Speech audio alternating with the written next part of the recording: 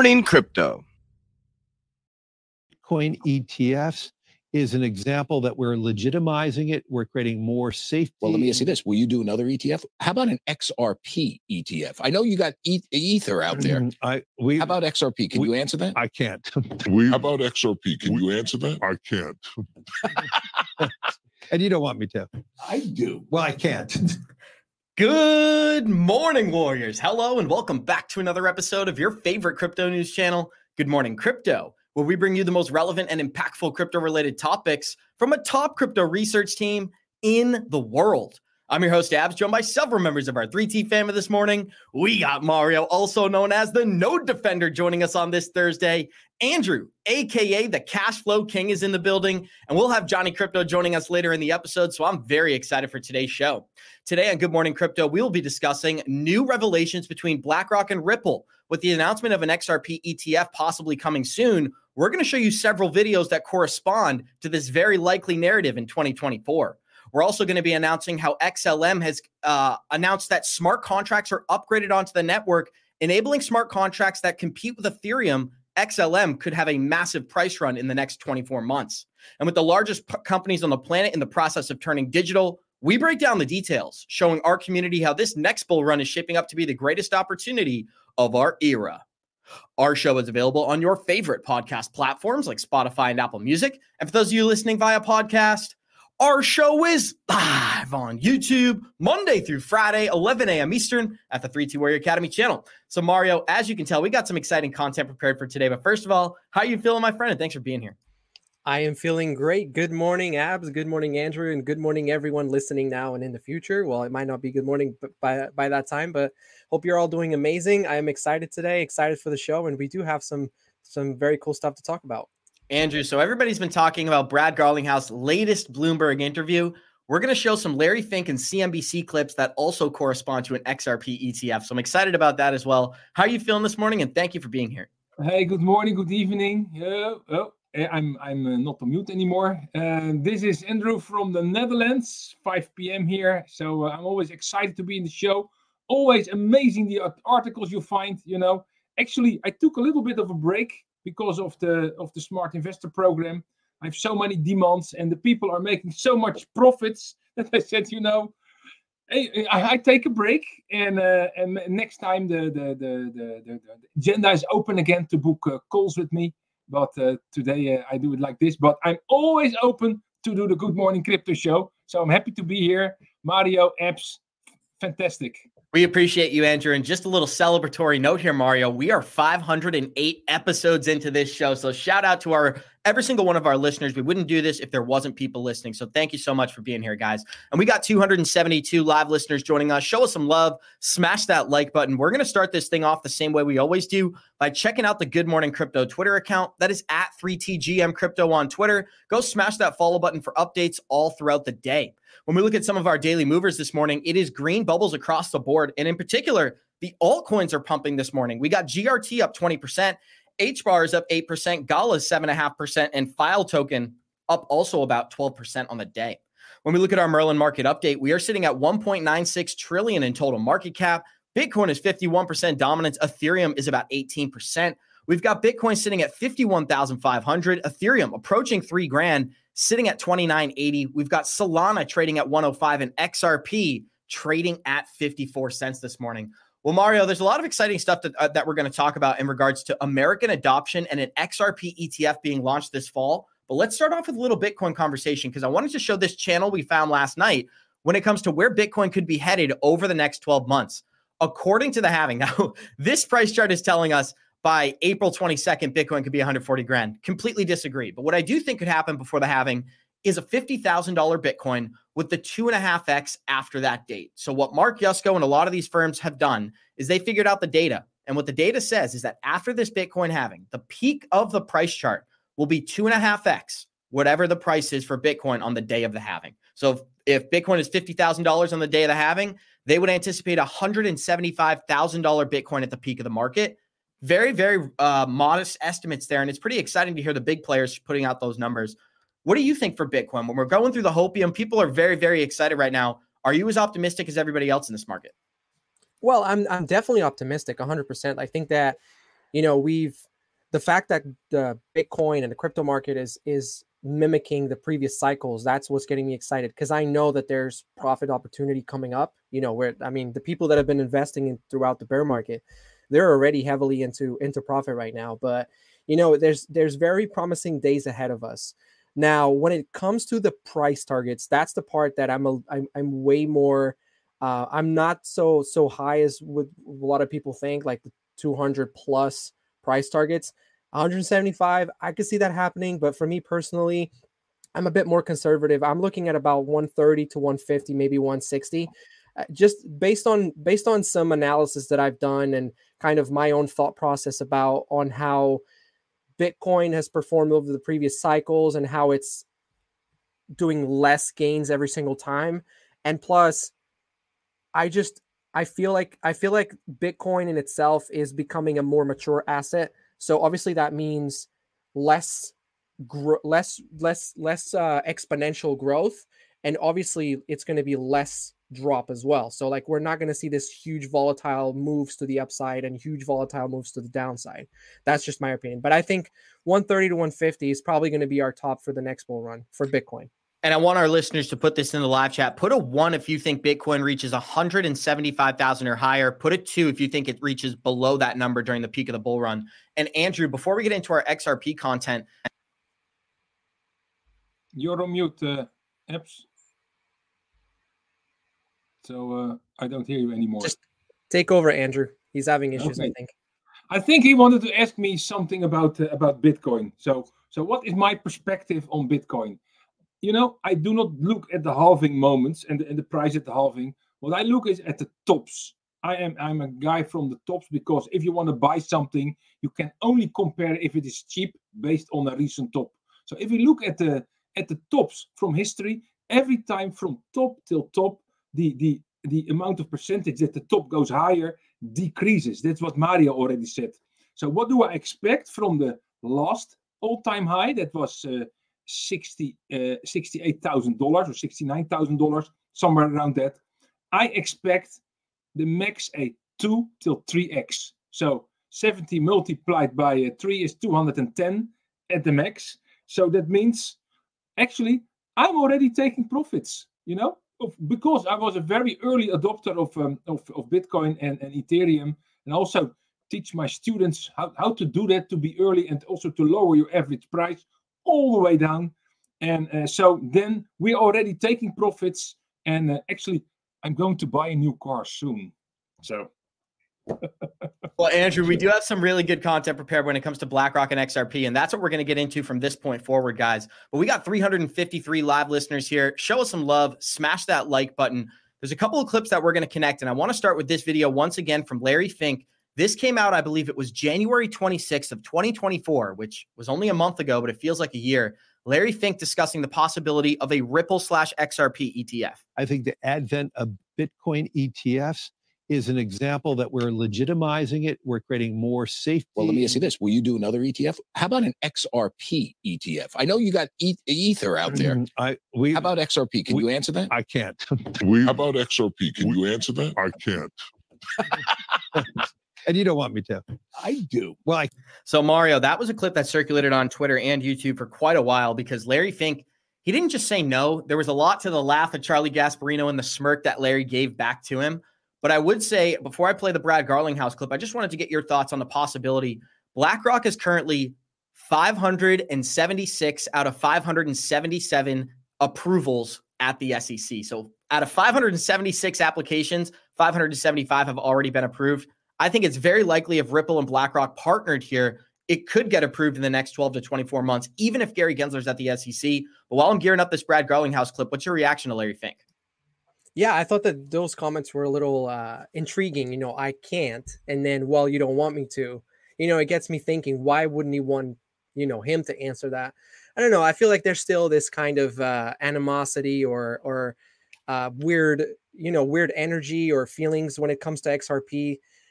I don't know. Like we'll see. We'll see what happens. I definitely think that XRP is, is lined up to be the next ETF, or it could be the next ETF, especially given its uh, regulatory clarity now. So I mean, it, if they skip it, then you know it's just another confirmation of an agenda potentially. But yeah, I thought that was interesting. We've seen uh, we've seen them, you know, take different stances on crypto, and you know, at, at first they said that Bitcoin was used for nefarious activities, and it's it's not it's not worth anything, and then now they've completely done a, a 180, and, and they're saying that Bitcoin has got value, and and now they're looking at it with completely different eyes. So it, nothing surprises me at this point. I did think that those comments that he made were a little intriguing. Like I, I'm wondering what he meant by what he said you know what I think here? What's happening here? This is all social sentiment. And what does it mean? Hyping up and hyping down. Mario said about the, the negative uh, uh, news we always had about Bitcoin for uh, for funny activities. Uh, now now Bitcoin there is an ETF. Um, but I think Larry Fink doesn't want to tell it because if he says there will be a, uh, an, an XRP ETF, what do you think the price will do? go, goes immediately up. So I think they will wait for their moment. We already saw that when the when the lawsuit ended. You know, it was a spike of about 100% or, or even more, and then it came down again. So people are lining or, or actually are preparing themselves to take advantage of the sentiment. And so, guys, here, everybody who's listening and watching, keep in mind it is all part of the game. Absolutely, guys. And we're going to play this Brad Garlinghouse clip. Let us know your reaction in the live chat as well. Here we go. Would welcome an XRP ETF then. We would certainly welcome it, and I think it's inevitable that there'll be, you know, multiple ETFs around different uh, tokens. And I think you'll even see ETFs potentially around baskets that also, I think, further diversify that risk. Uh, are you in talks? So let's pause it before we get into the BlackRock content, Mario, because this is something me and Johnny have contemplated and debated for a long time.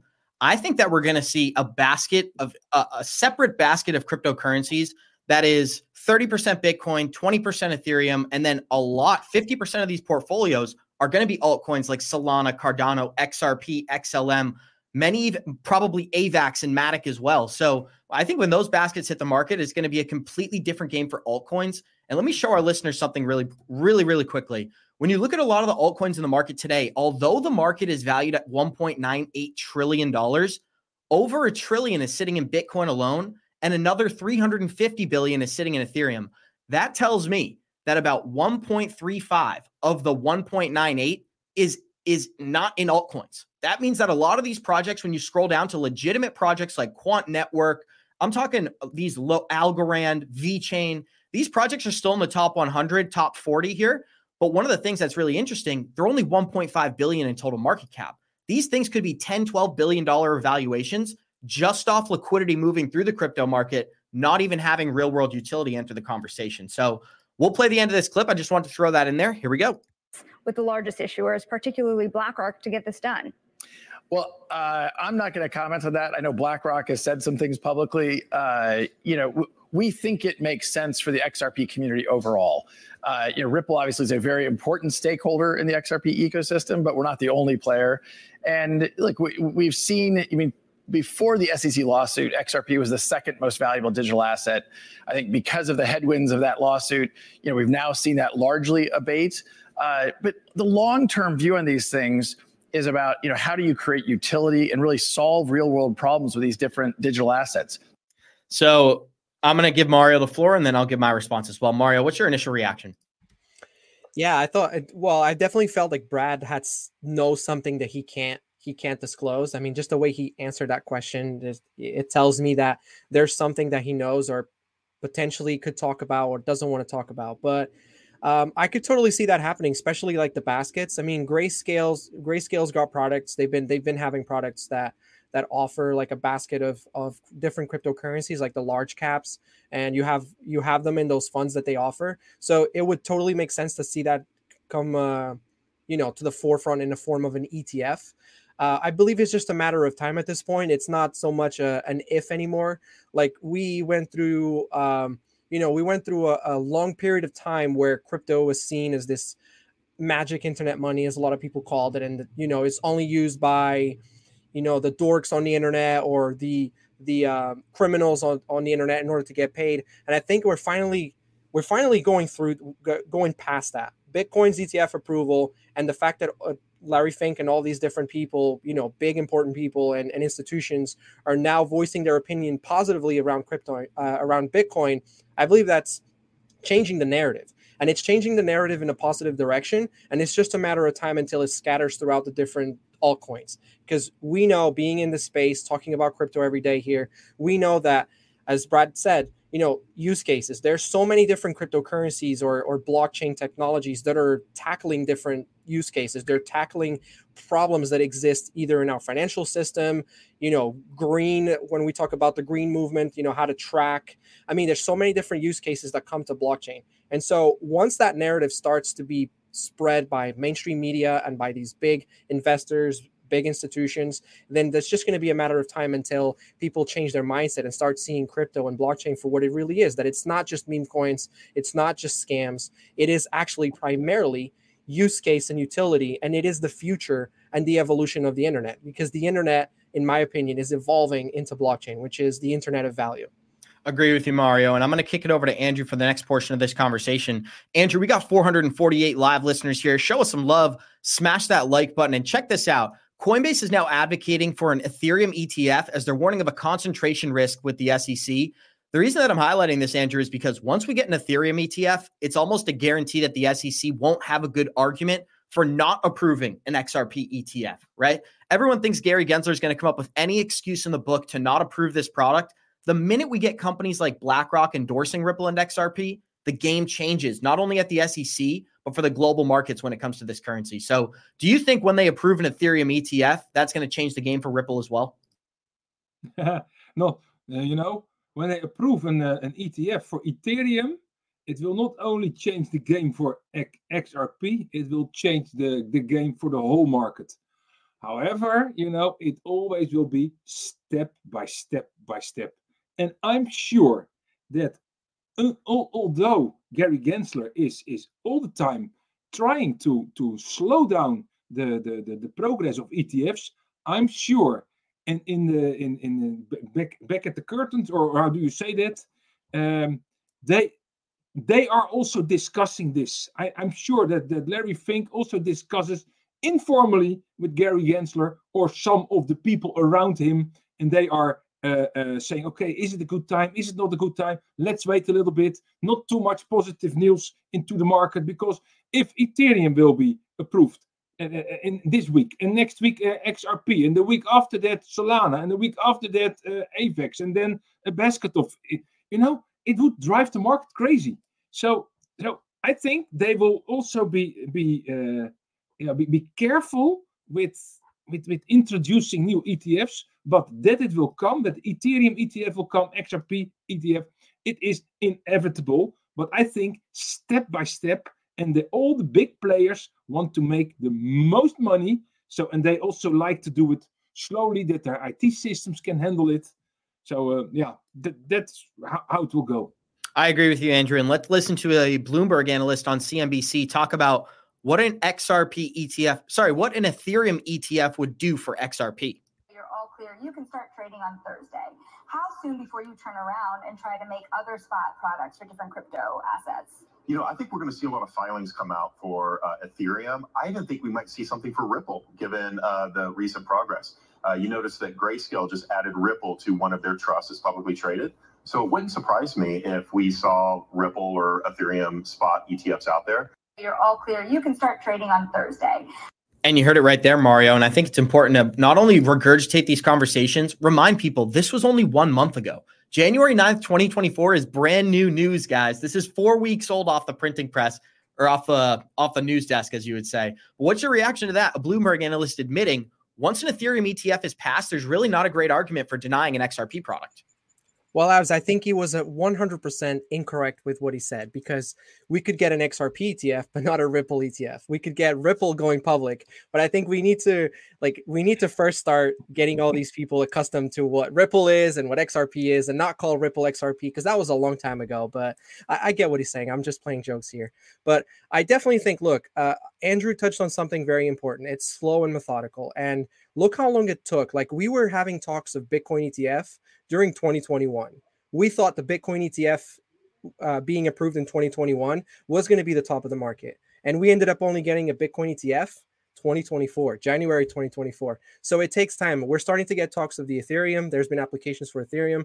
Obviously, BlackRock being now involved could be it, it's a different ball game. It could certainly accelerate the pace at which it gets approved. But I, I, if I was to take a guess, and again, I have no crystal ball, but if I was to take a guess, maybe end of this year, beginning of the next, for us to get an approval for an Ethereum ETF, if nothing changes. I mean, I mean, let's not forget this year we've got a bunch of stuff happening economically. We've got elections in the US, which is always a big deal, change of government. So if I was to take a guess, yeah, beginning of next year, end of this one, possibly after the elections for something for Ethereum. But um, Andrew was spot on. It's slow and methodical, and it took a really long time for Bitcoin. It could certainly be faster this time around for for Ethereum, just because BlackRock is there. But I agree with you, Mario. And we're going to play a clip right now discussing who educated Larry Fink on cryptocurrencies, Andrew. Because when you hear these ties, it might not be shocking to our listeners, but to the rest of the crypto mu- community, I'm going to give you a little glimpse into what's happening here. Robbie Mitchnick is the head of digital assets at BlackRock. And what we're looking at is his resume, which I pulled up from BlackRock's website right here. What does it say in the second line? He's a member of the Corp executive team, and Robbie is responsible for driving BlackRock's digital asset strategy. Right here, what was his previous time? BlackRock spent time as a CCPI investment board for the public markets and private investments at Ripple. So he's being educated by a former Ripple employee. And what we're going to do is we're going to listen to a brief clip from here from Anthony Scaramucci discussing how Larry Fink educated himself about Bitcoin thanks to Robbie Mitchnick. Now, there's a guy named Robbie Mitchnick at BlackRock. He's a young kid. He came into BlackRock with the idea of creating a Bitcoin ETF. He orange pilled Larry. And I'm going to give Larry a lot of credit because Larry actually did the homework. Larry did the reversal. Larry was on the road to Damascus and converted as a result of being steeped in understanding exactly what it was and why it will be an international store of value. And and and I got to tell you something, it takes a very smart leader to pridefully say that Bitcoin sucks and then 24 months later say, "You know what? I've got this wrong." BlackRock needs to be a part of this, and BlackRock needs to have a significant stake in it. So, all right, apply that exact same narrative to altcoins cash flow, and that's exactly what I think we're going through behind the scenes. When they heard about XRP from Robbie Mitchnick, if Larry Fink, if this is if these stories are true, and Larry Fink was just educating himself in 2021 about what Bitcoin really is, that first of all, that's shocking. But second of all, if he's learning it from Robbie Mitchnick, obviously that man understands the XRPL and just the power of blockchain in general, and that the capabilities of crypto go far beyond a store of value. So Larry's getting his foot in the door with the Bitcoin product, but I think it's inevitable. They're going to move into altcoin products as well because that's where they can make more income. What do you think? What, what, I see happening, you know, and I, I totally agree with this uh, with with this interview that uh, that Larry Fink in, indeed educated himself or, or got him educated by this Robert uh, Mitchnick, and and and of course uh, there there were two years ago there were not too many people that that were uh, had clear ideas about crypto. Only the the intimi and the and, and the nerds and so. But now it's it's growing and growing and growing. And actually, this week I was I was coaching several people with uh, about uh, about investing in crypto and investing in stocks. And then there was one student of mine, and she asked, "Why why can't I buy crypto on a stock exchange?" And I said, "You know what? Good question." So I went in eToro and I thought, let's see if I can Bitcoin, can buy Bitcoin. Yes, I could buy it there. I could buy Ethereum. I could buy XRP. I could buy Solana. I could buy AVAX. I could many coins. Thought, what is happening here? So what you see, and people who really has some difficulties with wallets and, and, and, and transferring money, you can also invest in crypto in a regulated stock exchange and go from there. So what does it mean? It means that also in the in the traditional financial market, at least at the stock exchange market, also there are people that start understanding it and start what they what they are doing. So I don't see many commercial information yet that that stockbrokers you you can also uh, uh, trade crypto, but it is there already, and it also makes the threshold a lot lower for a lot of people to uh, yeah to, to jump into the space. So I think we are making steps. Also, Larry Fink is making steps, and uh, we are really on on a good path into the future for adoption of crypto. Mario, I want to get your thoughts on the Robbie Mitchnick connections as well. And we already got 503 live listeners here. Show us some love, smash that like button. And this is what we were trying to connect the dots with because prior to joining BlackRock, Robbie was a was on the board of investments for Ripple. And so he was working directly with Brad Garlinghouse, Chris Larsen, some of the most prominent people in the crypto community. Right after he left Ripple, he was hired by BlackRock to lead their digital asset team. I think that's a worthy connection, but what's your initial reaction? Yeah, like Ripple has like this uh track record of connections, like either at Ripple currently or used to work for Ripple. Like it's it's astonishing, like the the the level of people that you know come across Ripple. But like the part of Larry Fink, you know, getting educated, I think that that's a crucial statement, you know, because anybody who is kind of anti crypto, in my opinion, or most people, I just believe that they haven't done they haven't made the effort to spend a little bit of time understanding what the technology is. Because if you take a little bit of time you know 30 minutes to really sit down and understand and read on what uh, the blockchain is and what the technology the underlying technology is i mean you have to be able to see that it is the future in some way shape or form and so at some capacity it may not be at the capacity of what we see a lot of these cryptos right now but you know it's a developing technology so you know, Larry Fink, you know, Robert Mitchnick might have been the influence for Larry Fink. Um, maybe he wasn't. Maybe Larry Fink was just playing it all along when he was saying that, you know, Bitcoin was bad and that he doesn't uh, see any value in it. Maybe he was just playing dummy, just like he's playing dummy about XRP because I don't know, who knows, right? But I think that especially these veteran investors, of course, they're going to be more methodical and more, um, you know, they're not going to be as open to risky investments, right? They're going to want to play it more safe. But I do believe that at the same time, they they have people in their team that are advising them. They have people on the team that are experts, that are seeing trends, that are that are seeing the technologies, that understand the technology. So this could have been the influence, might maybe not, but it's definitely an, a nice thing to see that Ripple connection there. Mario, you know what it reminds me of that book that uh it's called what is it called? Um sorry, it's by Napoleon Hill, Andrew. You know what I'm talking about. The Think, Think, and Grow Rich. Grow Rich. That is an yeah. exact quote from Think and Grow yeah. Rich, Andrew. So now that I butchered the line, I'm just going to kick it straight to you. but what I wanted to point out about this Brad Garlinghouse interview is that he said the executive said that it's inevitable there will be multiple ETFs around different tokens. Now we're focused on XRP, but I think this is going to happen more broadly. We've already seen companies like Citibank be willing to work with AVAX and and build tokenized assets on top of Stellar. And we do have a Stellar article that I believe we should get into as well, because many people are here for this information. Stellar starts to phase out the rollout of the Soroban smart contract network. This is going to be a direct competitor to Ethereum. And if you want to just hear the important information, I'll skip to that part of the article before we go in depth. With Soroban, Stellar is charting its own course, not jumping on prevailing narratives. It's not a layer two and it's not using EVM. We want to ensure that this doesn't affect existing stakeholders. So we're taking a very progressive approach in opening up the floodgates. So that really, really caught my attention, Mario.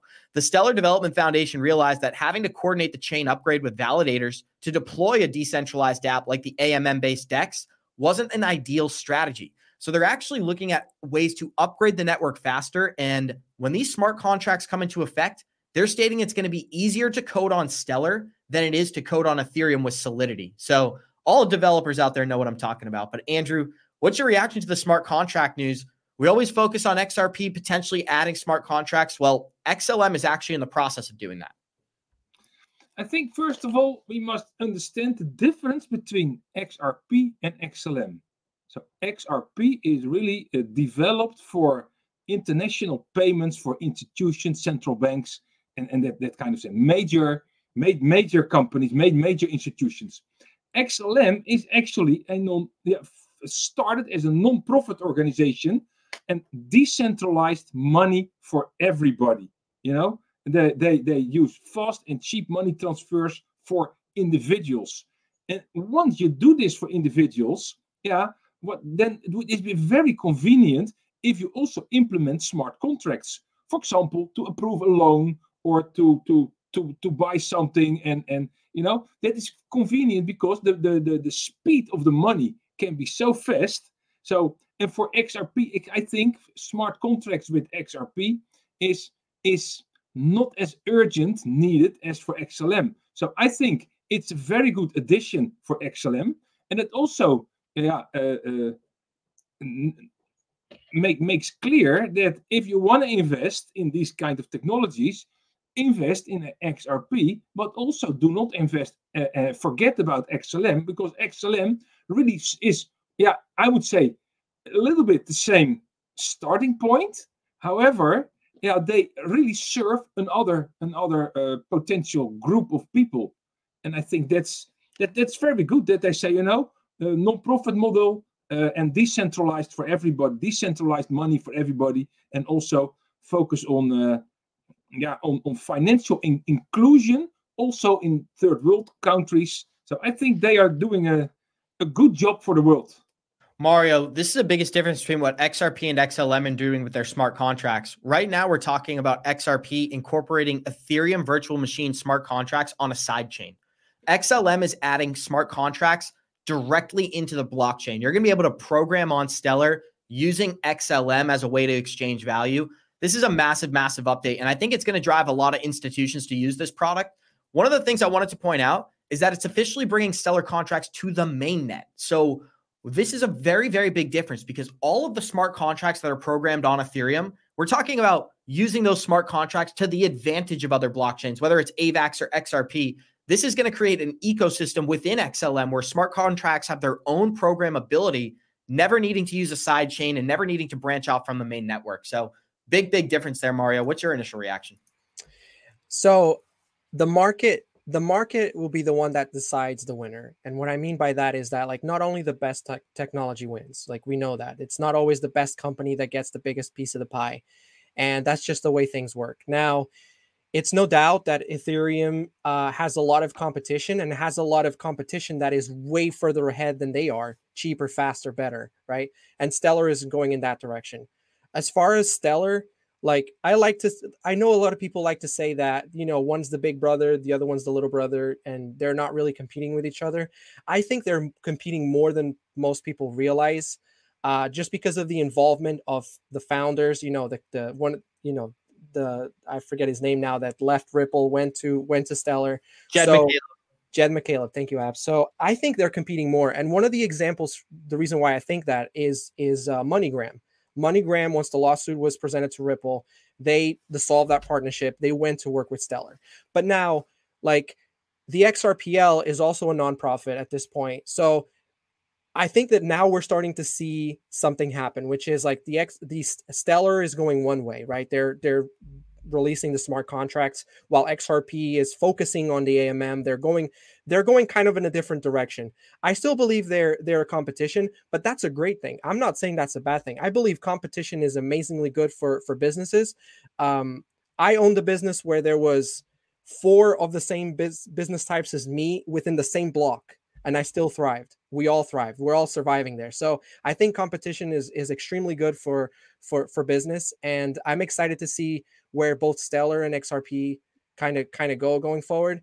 And I I have no doubt that this is most likely a laggard thing. Like we're seeing developments, we're seeing utility, we're seeing uh, growth within these ecosystems. The prices are not reflecting it because the attention is simply not there on the prices. But it's going to be a lagging effect, and it's going to show up at some point. Cashflow, I'm going to kick it straight to you. But when we talk about the MoneyGram partnership, I find this to be very interesting. MoneyGram is going to be one of the first companies to probably incorporate smart contracts for money transfers on XLM, just because they're going to be involved in these conversations. They're on, they're openly uh, communicating with the Stellar Development Foundation as well. So it's only inevitable that if they if they allow smart contracts for on-demand liquidity, we are going to see Stellar begin to be leveraged by MoneyGram. So very very exciting. It could be a huge catalyst for the price as well. What are some of your thoughts to what Mario had to say? Yeah, it is interesting to see, uh, especially about this uh, this competition. Who is the best? Who will win? We saw that also with the, with the, with the video disc and the Blu-ray disc, and it's all gone, and the and the and, and the Betamax and the VHS video recorders for, for the somewhat older people with us. Um, I think if XLM is really able to, to open up for smaller developments with an uh, Ethereum virtual machine kind of application, and, and, and you get a lot of adoption of developers into your ecosystem, it can go pretty fast. And XLM did not have the, the, the, the disadvantage that there was a lawsuit. So they continued go, going on and growing what XRP only had could do outside outside the US. So yeah, I think it's it's a pretty interesting uh, uh, uh, race that is run, and you know who will win the race? Maybe a third, a third crypto will come in, in the near future. That will maybe maybe Solana will take over. You know, we don't know, but at least here are very interesting developments, and it only increases the basis for the whole crypto ecosystem, and that's that's very good. Completely agree with you. And I want to point out the correlation between the XLM and XRP partnership that we're seeing right now. Look at the price charts, Mario, as they're overlaid on top of each other. David Schwartz actually tweeted this out. So it's very interesting. Since 2014, we've seen almost an exact correlation between when these projects move. Not only the historic bull run that we saw in 2017, but the price pump that happened in late 2020 all the way to early 2021 with both of these projects. Now, the return on investment seems similar. It does seem like XRP is slightly outpacing XLM if we want to get, you know, real specific here. But more broadly, it looks like these projects are connected in some way, shape, or form. And Andrew brought up the founder of XLM is Jed McCaleb. Jed McCaleb founded Ripple with David Schwartz, Chris Larsen, Brad Garlinghouse. So very interesting narrative going on here. And we got 552 live listeners joining us. Show us some love, smash that like button, and let me know what you think in the live chat. Do you think XRP is going to outperform XLM or will XLM outperform XRP in this next bull run? Let me know in the live chat. But Mario, what do you think? Yeah, look, that correlation, that that the way that the price of both XRP and XLM uh, move, there's definitely a synch- synchronicity. Like I know we can compare a lot of other cryptos, and because of them being paired to Bitcoin, you know, whenever Bitcoin moves, they move. Whenever they go, Bitcoin goes down, so on and so forth. But I do remember specifically points in the bull run where XRP was moving and then you would look at XLM and XLM was also moving. So that's there's definitely this weird synchronicity. So like as much as we can pinpoint like the fact that it's it's because of liquidity and because it's because of the market being connected to Bitcoin, like I don't know, like I just don't see the same synchronicity between other cryptos. So I mean, maybe we'll find out one day the exact reason is why that's happening, but uh, maybe it's because of the connection between the two and how similar they are, and and a lot of people who are invested in XRP are also invested in XLM, and so whenever there's positive news for one, it affects the other. I'm not really sure. Maybe it's a combination of different factors, but I do believe that it's not. I do believe that it's not by by chance. I don't think it's because of you know the pairing with bitcoin which i know we can overlay it's charts from other cryptos like i mentioned and it could be similar but like you're showing right now there's specific points where one moves and i remember i remember specifically getting notifications about xrp going up and xlm going up so yeah. I agree with you mario and this is a prime example of this andrew. We're not going to spend too much time because it's always we don't really know why this is happening and even david schwartz admits it could be the algorithms it could be just the way that these projects are programmed with the market makers and the buyers. But look at what happened even in October of 2023. We got some news that BlackRock had potentially filed an XRP application in Utah or Wyoming, something along those lines. Well, what happened? The XRP price went from about 64 cents to 72 cents and back to 65 cents, all within just a couple of hours here, Andrew. Now, that's not shocking, right? Classic pump and dump on XRP. Here's what's shocking is that XLM did the exact same thing with no correlation in the news whatsoever. XLM had the exact same percentage gain and drop, actually dropping a little bit below where it initially started. So, what's your reaction to to even David Schwartz acknowledging the correlation here? Yeah, uh, you know, I actually I have no clue why this is so correlated with each other, but I think because you know it's all about sentiment, sentiment in the market, and because XRP and XLM are called uh, bro- brother and sister, or or, bro- or brother and the, and the, and the smaller brother. I think there is the correlation, and to me, as far as I can see now, the correlation is only based on sentiment and, and ideas of individual investors. It has nothing to do with developments. Uh, you know, we saw a big spike that was in, uh, which was actually the same spike in July uh, last year, but that was the end of the XRP lawsuit. And then you also saw XLM spiking up and going down again. So it's weird. It, it's really weird, you know. But if you have, uh, you know, I, am an investor. If you have an, an, an also an entry plan and an exit plan, you can make a lot of money on those small spikes all the time. And and that that's also what makes this this market so fun. I agree with you, Andrew. And let's talk about Ripple use cases right now because this is an employee for Ripple, and his name is Brooks Etz. I cannot pronounce these guys' names. It's always so difficult. But let's not forget, my name's Abdullah. So I think I do get a free pass on this one, guys. And we got 521 live listeners here. Show us some love, smash that like button, and check out how Ripple's use cases could impact the price of XRP. Use case for our XRP ledger and XRP and built RippleNet, which is involved into a platform for cross border payments with crypto native services on top. Think instant settlement, lines of credit, liquidity services. And we've been at this now for many years. We needed to build a use case first um, in order to really realize the dream uh, that we're very much living today as crypto has become uh, this new normal in finance. I truly believe we're at an inflection point. Uh, the reason this event has five epic days of lineup across multiple cities in Australia and with an outstanding group of speakers and a huge crowd uh, dialing in from all over the world, not just on the ground, is because this point.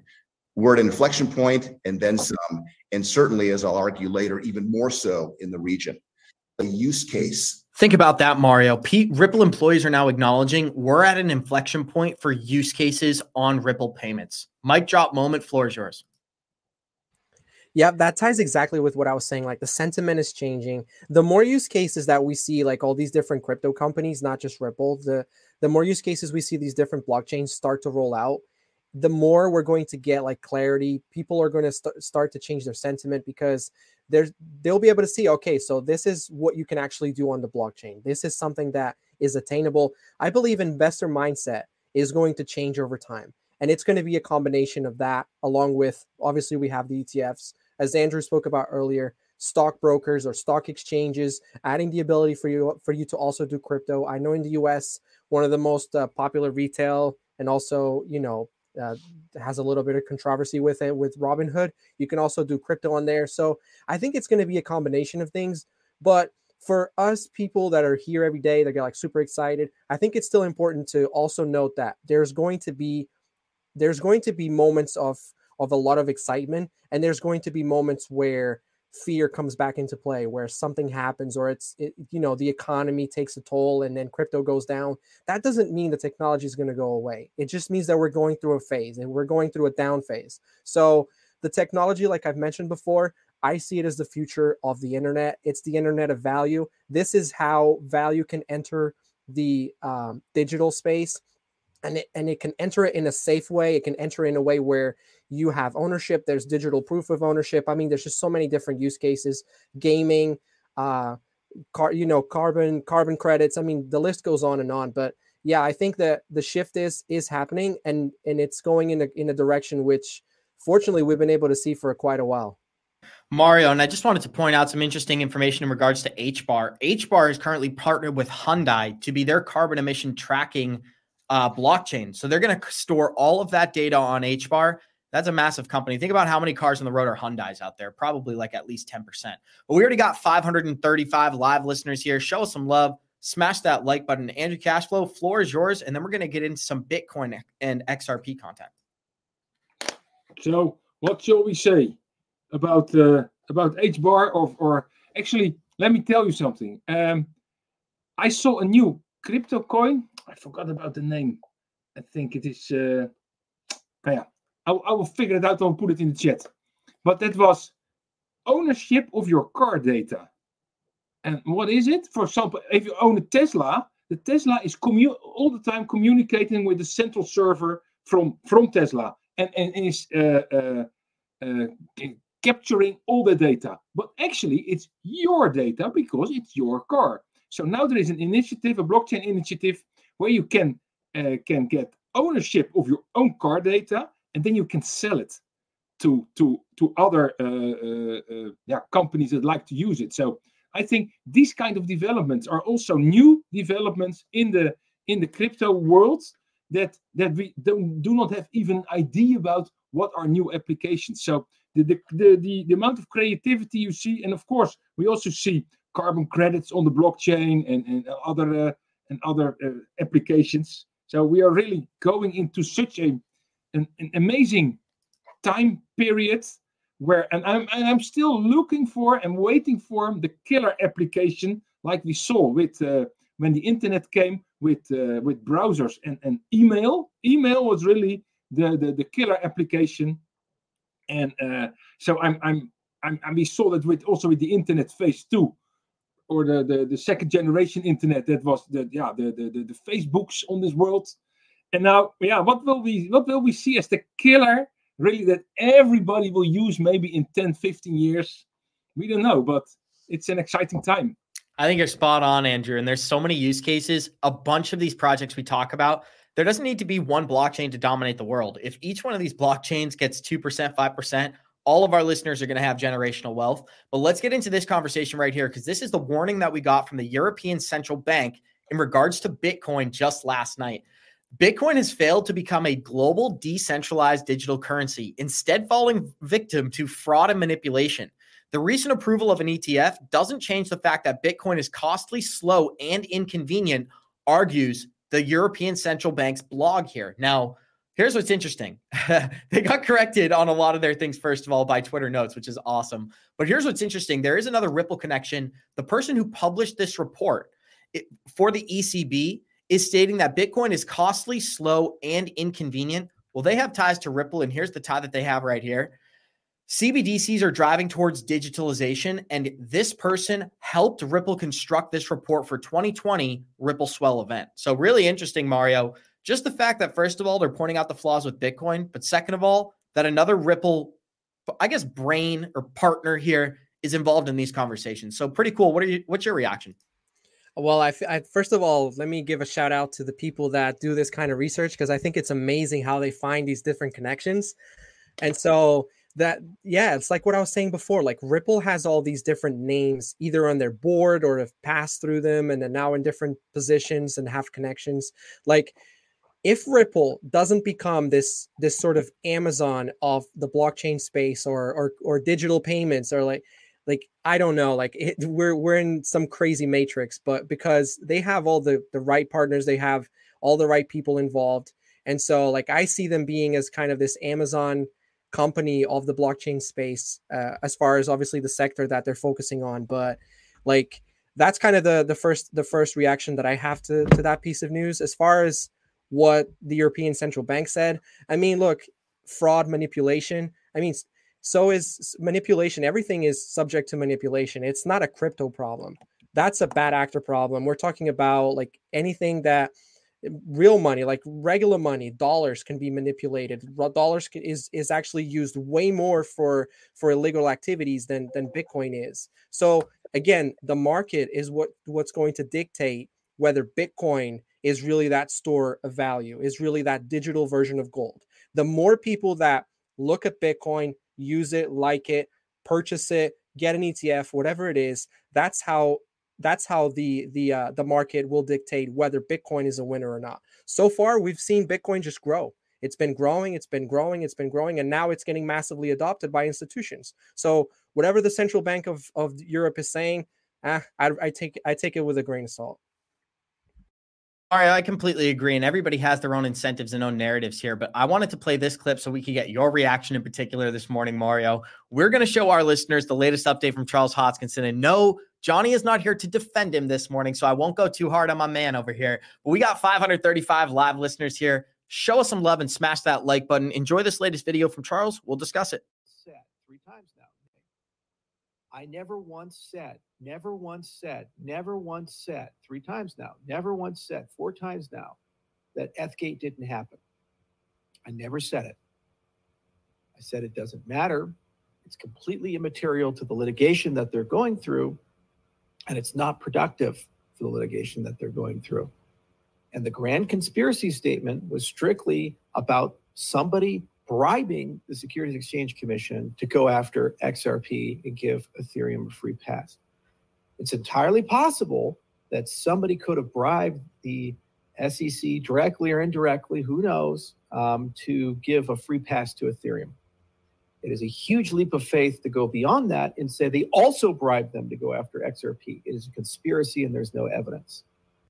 So, Mario, obviously there is some evidence, but let's talk about some legitimate claims that Charles made. Do you think that Um, do you think that the it is a leap for people to assume if they bribed Ethereum to get a free pass that they would bribe somebody else to go after their main competitor?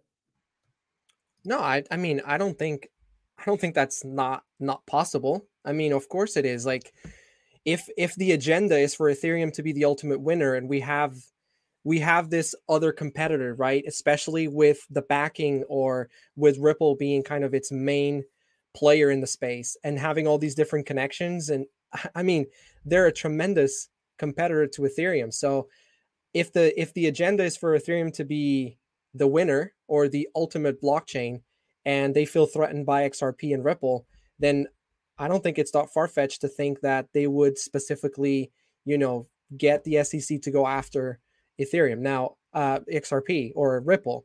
Now, I'm not saying that that's what happened, but you know, as far as Charles's point, like I listened to what he said, I I feel like he was more specific this time around, so it was better. I still don't think that you know his conversation is going to settle this uh this argument or this uh bad energy that's happening between him and the XRP community.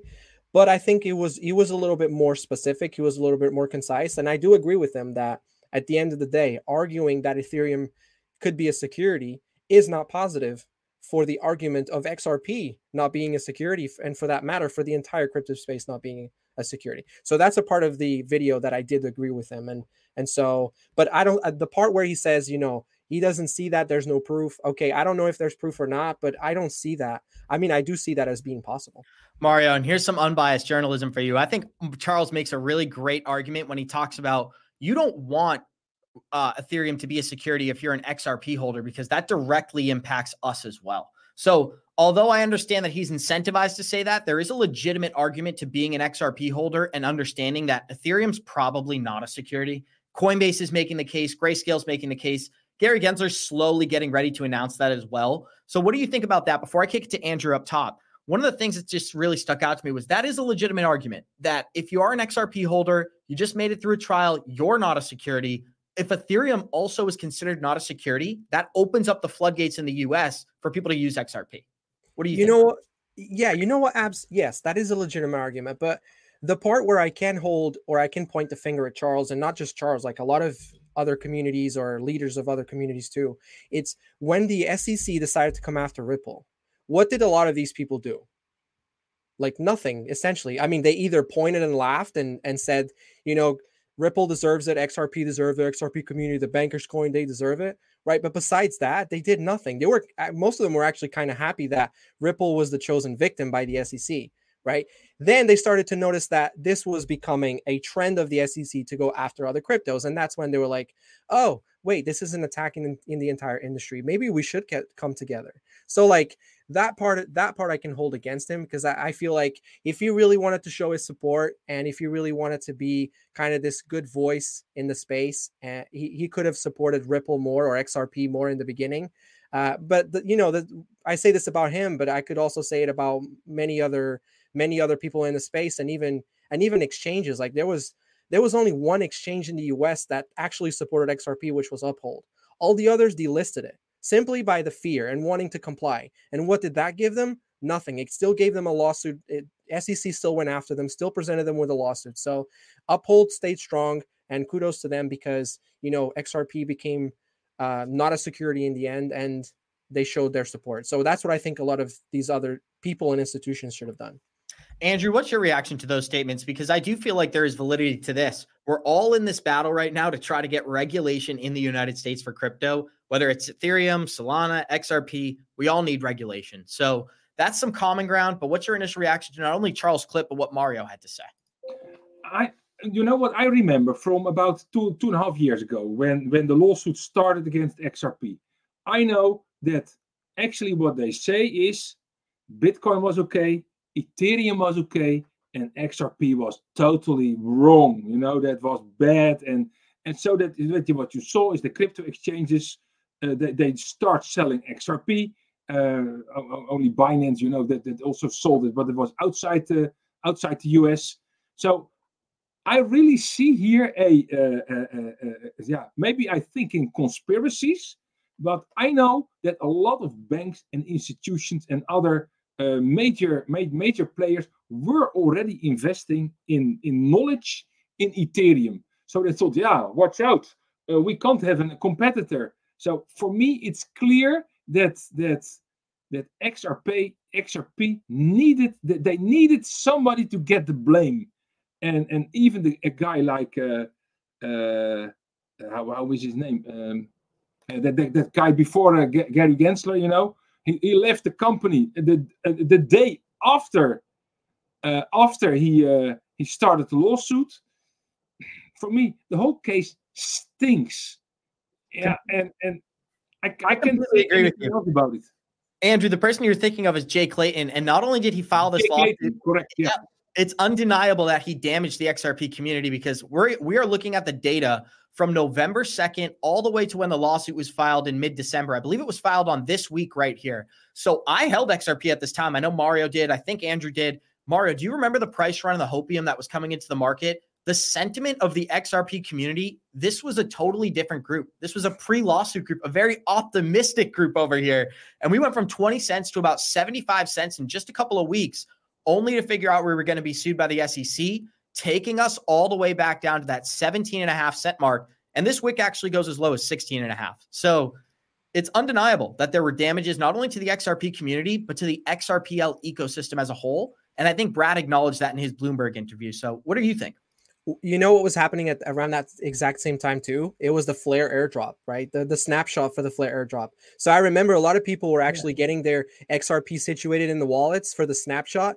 And so like the lawsuit came I think a couple of days before Christmas or like around Christmas time. Yeah, yeah. Like it was it was horrendous. Like I know that there was a little bit of a heads up and some people were already exp- uh, expecting it because I know Brad Brad Garlinghouse uh, did did uh, say it publicly, but it completely flipped the sentiment. I mean, I I had the blessing to be able to say to myself, you know what, this is actually I see it as an opportunity, and a lot of that has to do with the academy. I had just joined the academy, and I remember Coach JV saying, "I'm backing up the truck. I'm buying more. This is a huge opportunity." So shout out to Coach JV for you know passing on that message and and and keeping us positive in a time when obviously you would have fudded out. You you know generally you would have fudded out. You would have been like, screw this. You know XRP is going to zero, fud out. But you know we stayed strong in the community, and I'm really glad that we did. And hey, I'm Mario, really I can even tell you on Coinbase when they started to to to ban XRP,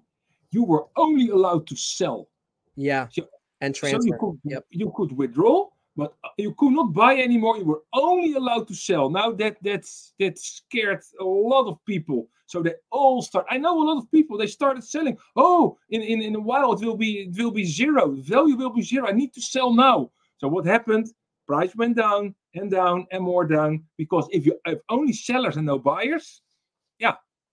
So yeah, and then yeah, we bought more it's very self-explanatory too. When you look at the price chart, we're still trending in the right direction, as well as I know a lot of these projects are outperforming XRP, but anybody who's held this token for years, Mario, knows we move last during the cycle. So we're seeing nothing but normal movement from XRP here.